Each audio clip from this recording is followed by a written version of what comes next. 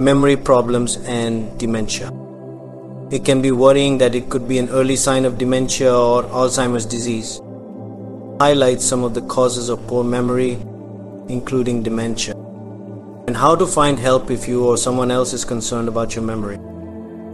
Many things can affect our memory, things like stress, depression, grief, even physical illnesses like vitamin deficiencies or infections. We will focus on two specific memory problems dementia, which comes in many forms, including Alzheimer's disease and mild cognitive impairment.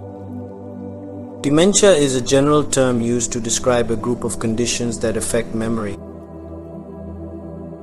It becomes very difficult for you to remember things and you develop other problems with your thinking. It makes it more difficult to adapt to your daily life. These problems are constantly increasing. Or they are growing slowly, they are not a regular part of aging. All of them involve memory loss, but they also have other symptoms which vary according to the cause. Dementia often starts with memory problems, but a person with dementia may also have difficulty able to plan and execute daily tasks, able to communicate with others. There may also be changes in their mood, decision making ability, or you may also notice changes in their personality. As dementia progresses, the person with dementia will become more dependent on others for support over time. How common is dementia? This is becoming more common as we age so. By age 62, 100 people will develop dementia. By age 85, about 1 in 5 people will have some degree of dementia. Dementia can occasionally affect younger people and can run in families, although this is rare. Mild cognitive impairment is a less serious problem of memory. It does not interfere with your daily life to a large extent, and it is not severe enough to be called dementia. You may feel that you people forget names, locations, passwords, do not put things in the right place, forgetting to do the things you had planned.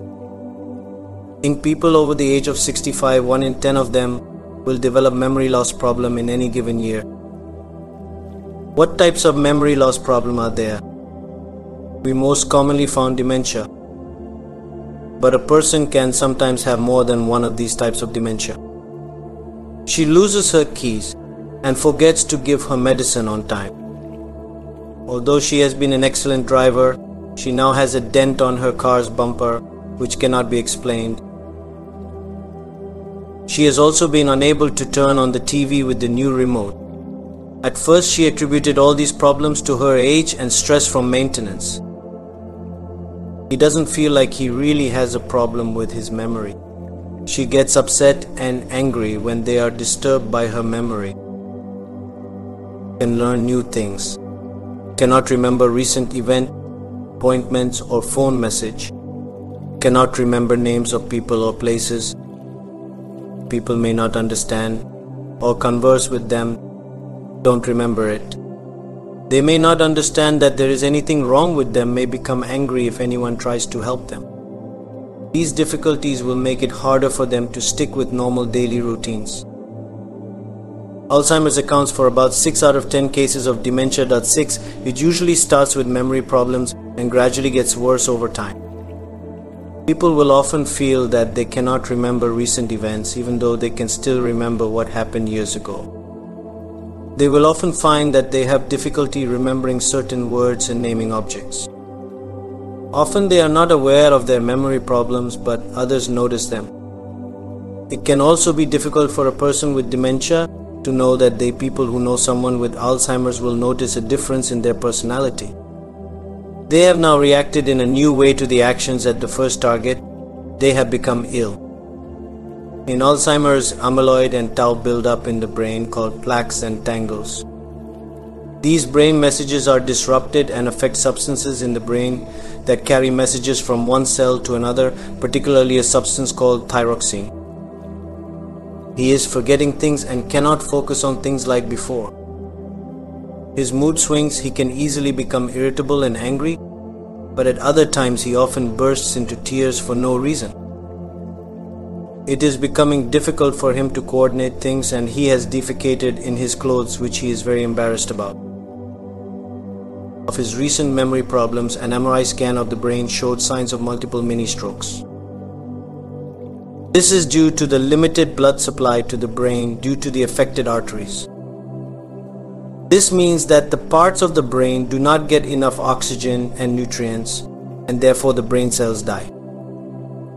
Vascular dementia includes related to stroke where an artery in the brain suddenly blocked by a blood clot.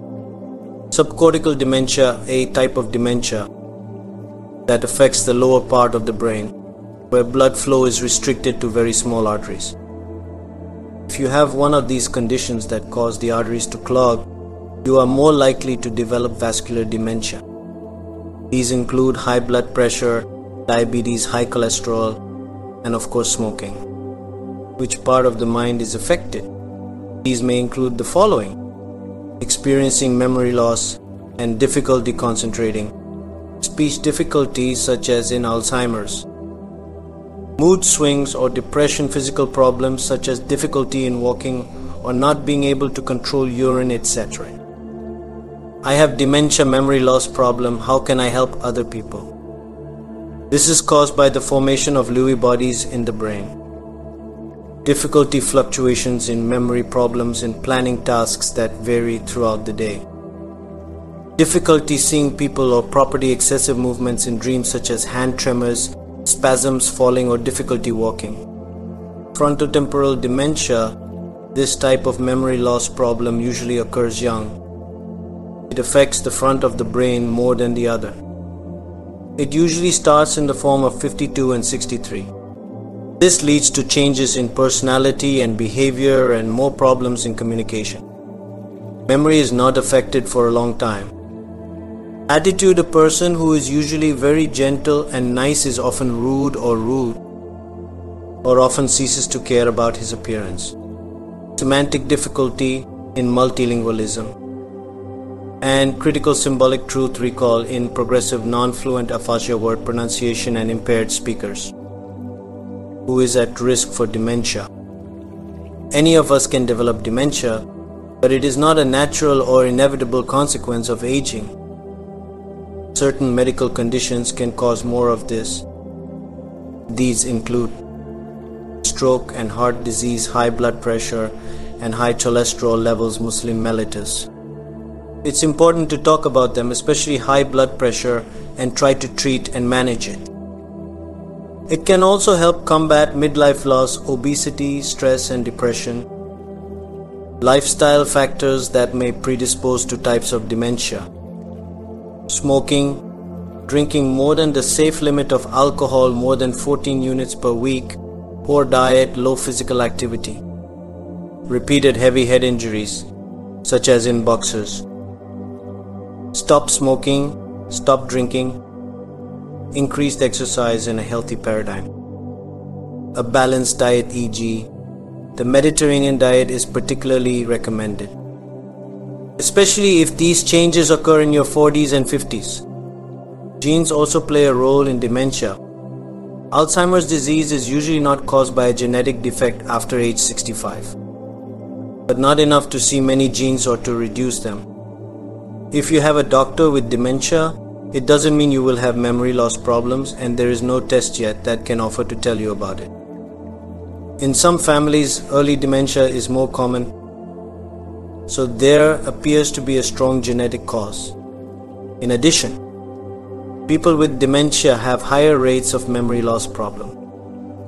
If more than one person in your family has dementia before age 65, it might be worth picking up from a medical geneticist in vascular dementia. Can prescribe medication if you have high blood pressure, high cholesterol, or diabetes. Stopping smoking, eating healthy, and exercising regularly are also helpful. Vitamins B and E, fatty acids, including fish oil, and complex dietary supplements are generally not recommended to reduce the risk of dementia. But if there is a vitamin deficiency, they can treat it, give advice. A psychotherapy called group cognitive stimulation, using group games to stimulate thinking skills, can help memory and improve a person's quality of life. Memory therapy involves discussing past activities, events, and experiences with another person or group of people. This can help with both understanding and knowledge cognition and help reduce stress on caregivers. The rate of progression of dementia is highly variable. People can live active, productive, and meaningful lives for many years after a diagnosis of dementia memory loss problems. There is a lot of research going on in the UK and around the world into the causes and treatments of dementia memory loss problem. There are currently three major research networks operating in the UK. If you want to get useful information, stay tuned to this channel. Thanks for watching.